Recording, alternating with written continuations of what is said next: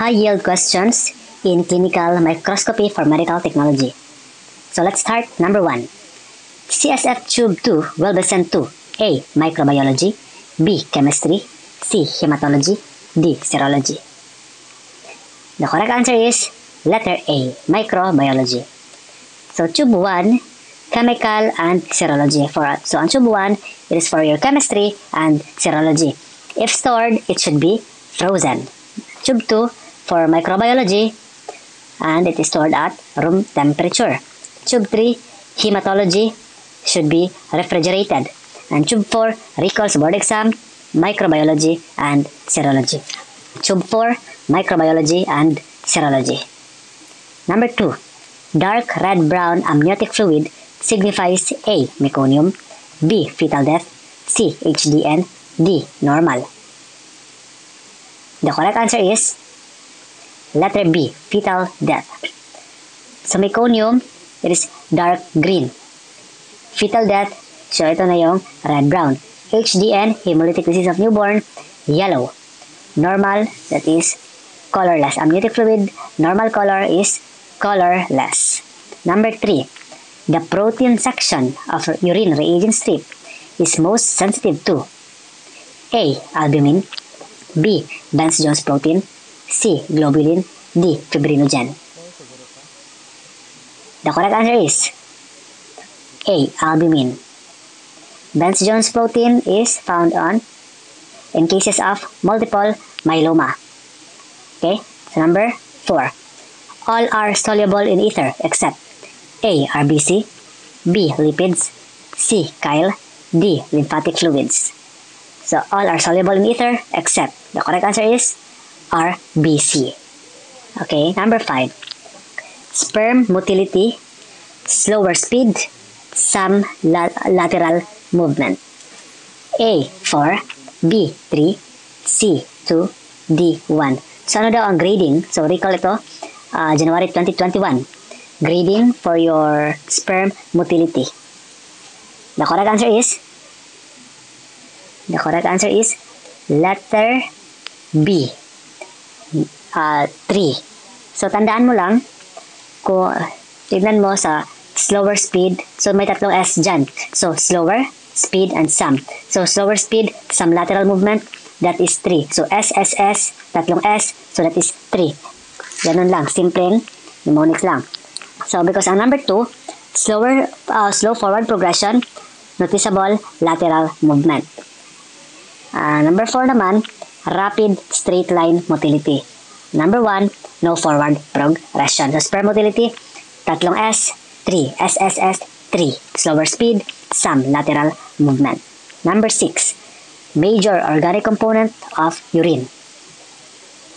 The major organic component of urine is A. Chloride B. Urea C. Glucose D. Albumin The correct answer is urea. Paki-remember, organic, organic, urea. Chloride is the major inorganic component of urine. Inorganic, urea. Chloride, uh, sorry, organic is urea. Chloride, inorganic. Paki-remember, kapag sa chloride mo, may I dyan. Ang chloride may I, so ibig sabihin, inorganic. Chloride, may I ang spelling sa chloride, inorganic. Urea naman, or, or, your, urea, organic, organic. Glucose and albumin is not normally seen in urine. So urea organic, chloride inorganic. Okay, number 7. Most commonly encountered type of urine specimen. A. First morning. B. Random. C. 3 glass. D. 24 hours.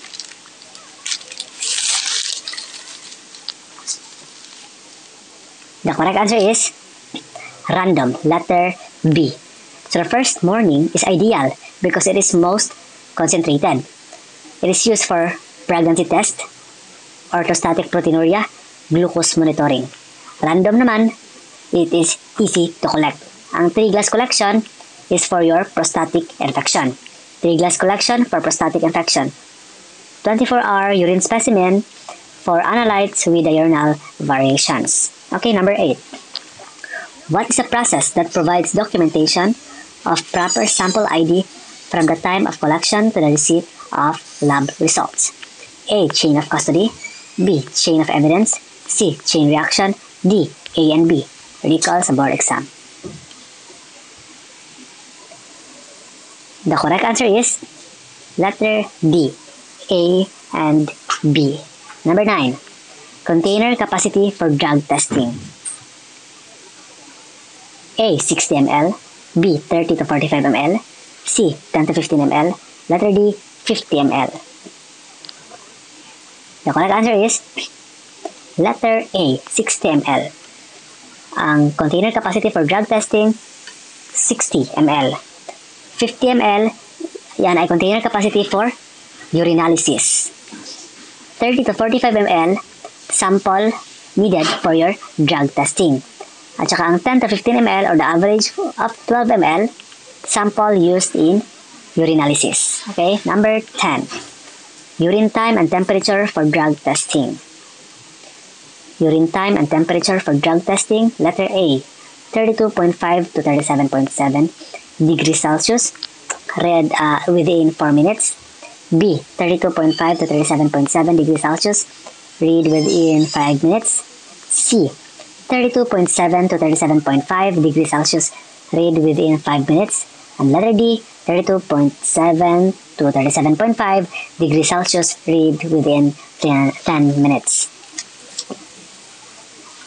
The correct answer is letter A, 32.5 to 37.7 degrees Celsius, and it should be read within 4 minutes. Take note, recall with the board exam, 4 minutes. Okay? So, number 11. All biologic waste must be placed in appropriate containers labeled with biohazard symbol except A. Urine B. Stool C. Urine and stool D. Blood The correct answer is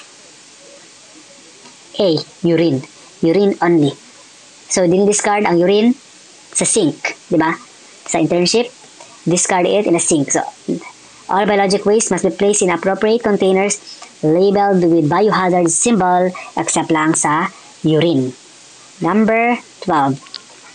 What is the total renal blood flow? What's the total renal blood flow? A.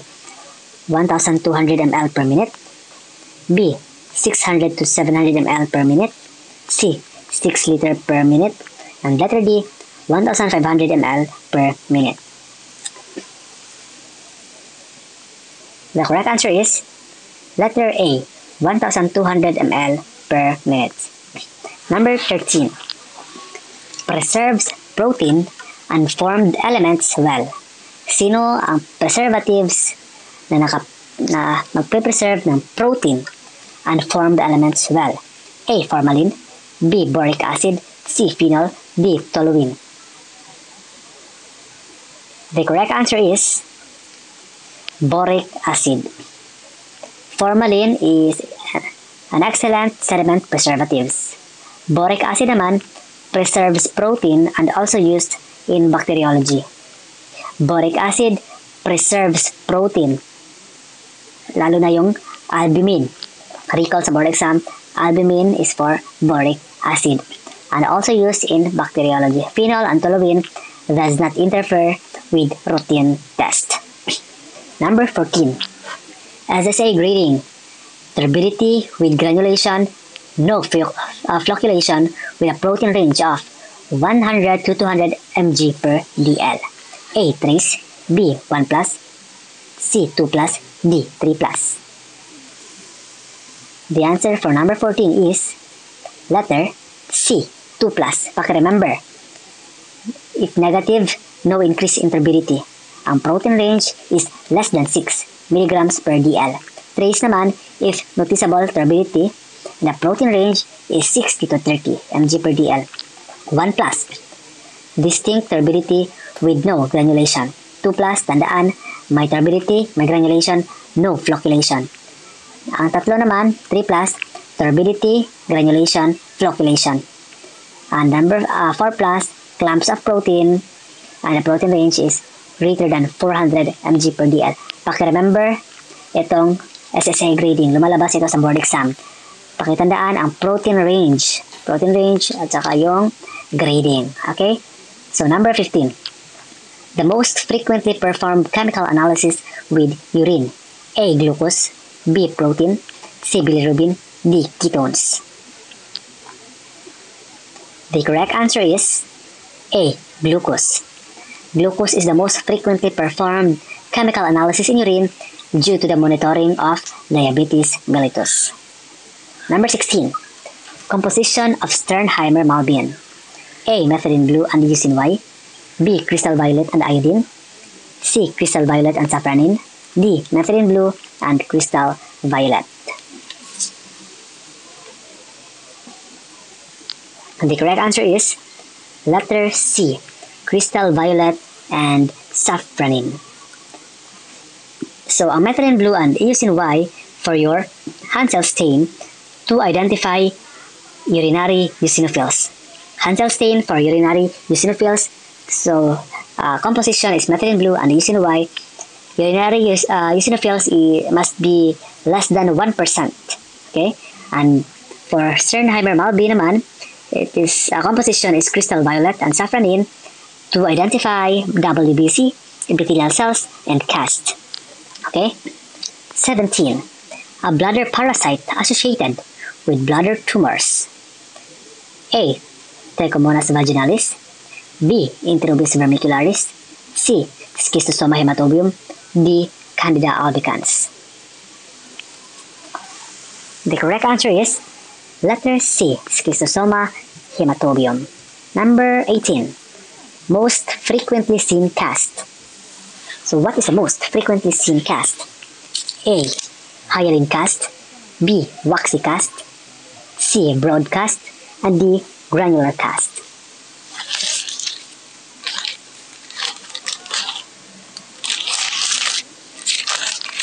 The correct answer is letter A. Hyaline cast. Hyaline cast is also known as procast. Waxy and broadcast are seen in chronic disease. Waxy and broadcast, remember, seen in chronic disease. So, remember uh, how you how to differentiate uh, upper UTI and lower UTI. So, ang lower UTI, it is also known as cystitis, and the upper UTI is acute pyelonephritis. Pakitandaan, ang cystitis or lower UTI may WBC, bacteria, hematuria, mild proteinuria, increased urine pH. Kapag, kapag acute pyelonephritis naman, yan ay mayroon ng WBC cast and bacterial cast. So, pyelonephritis or the upper UTI, nagkakaroon na ng cast, bacterial cast and WBC cast. Pag chronic pyelonephritis naman, meron ng waxy and broad cast. Kasi nga, chronic. Chronic, waxy, and broad cast. Okay, number 19. Positive result for home-based pregnancy, pregnancy test. A. Two bands. B. No bands. C. One band. D. Three pink bands. The correct answer is two bands. Number 20. Seed in acute tubular necrosis. A. Bubble cells. B. Oval fat bodies. C. RTE cells. And letter D. Transitional epithelial cells. The correct answer is letter A. Bubble cells. In cases of acute tubular necrosis, RTE cells containing large non-lipid filled vacuoles may be seen along with normal RTE cell and oval fat bodies referred to as bubble cells. 21. Appear yellow to reddish brown and are the only normal crystals found in acidic urine that appear colored. A. Calcium phosphates. B. Urate crystals. C. Ammonium biurate. D. Trifosphate. Kapag di nyo alam ang sagot, pwede elimination. Elimination lang ang sagot. Why? Acidic urine, isa lang acidic urine dito. Urate crystals. Malamang siyang answer. The rest are alka found in alkaline urine. Okay? Urate crystals uh, is uh, are found in acidic urine. The rest for your alkaline urine. Number 22.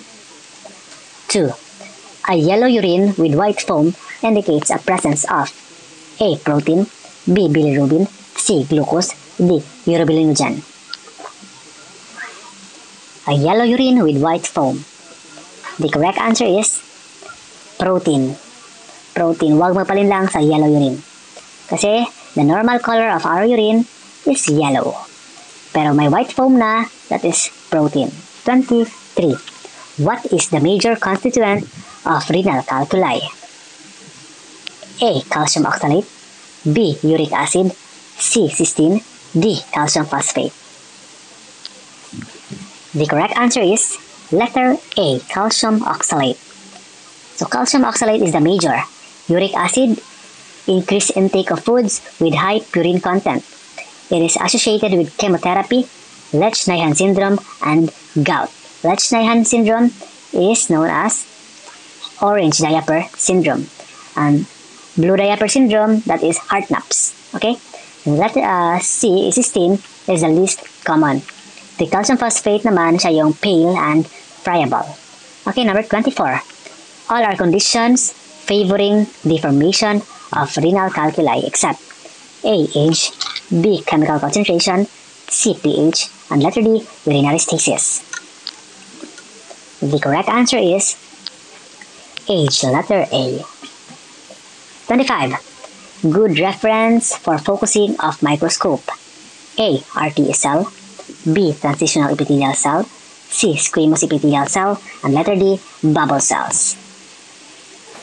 The answer for number 25 is squamous epithelial cells. RTSL is the most significant epithelial cells. So, RTSL and transitional epithelial cells, medyo mahirap sila i-differentiate. So, titingnan mo lang yung nucleus. Kapag eccentric nucleus, that is your RTSL.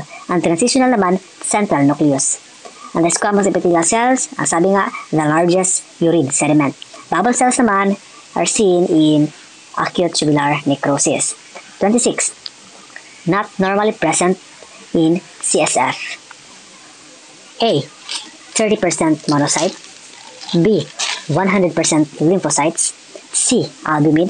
D. Prealbumin. The correct answer is letter B. 100% lymphocytes. Why? Uh, dapat 30% monocytes, 70% lang yung lymphocytes. Okay, number 27. The major protein found in CSF. A. Prealbumin B. Albumin C. Uromodulin D. Tau protein The correct answer is letter B. Albumin. So, paki-remember lang, CSF protein is, is less than 1% of blood total protein. Ang pre-albumin mo, siya lang yung second major protein. Maraming nagkakamali dito. Because akala nila ang pre-albumin ang major protein. But actually, it is only the second major protein because albumin is the major protein both in serum and in CSF. The uromodulin or thumb horseful protein is found on urine and is the major constituent of your mucus. The tau protein found in CSF only. Paki-remember, not found in normal CSF ay yung IgM, fibrinogen lipids.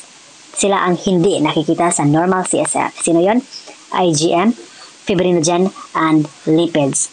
Ang nakikita naman sa normal CSF ay albumin, prealbumin, haptoglobin, ceruloplasmin, tau protein, IgG, and IgA.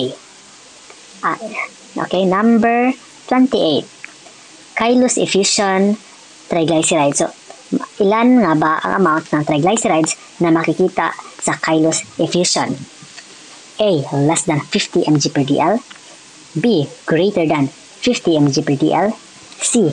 Less than 110 mg per dl. And letter D. Greater than 110 mg per dl. The correct answer is letter D, 110 mg per dl. 29. The, pr the primary chemical affected in RAAS is A. Potassium B. Chloride C. Sodium D. Magnesium The correct answer is letter C, sodium. So, ma-activate lang ang RAASMA or that is your renin-angiotensin-aldosterone system if there is decrease in blood pressure and increase in potassium or decrease in sodium. So, the primary goal is to increase your sodium retention and increase your blood pressure. Okay? So, now, last number 30. Round cells in sperm analysis are composed of A. WBC and spermatids B. RBC and WBC C. Spermatids and RBC and letter D. Sperm cells and spermatids. Recall January 2021. The correct answer is letter A. WBC and spermatids. So thank you and laban lang future frontliners RMT 2021. Tiwala lang.